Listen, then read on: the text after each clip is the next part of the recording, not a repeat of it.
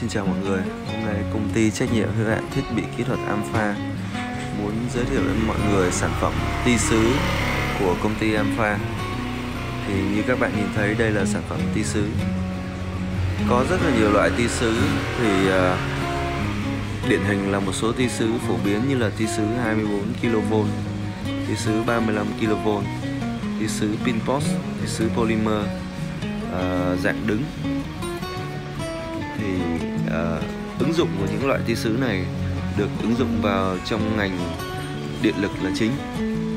Uh, bao gồm uh, sản xuất tia sứ cách điện treo ở trên những cái trụ điện và sản xuất máy biến áp.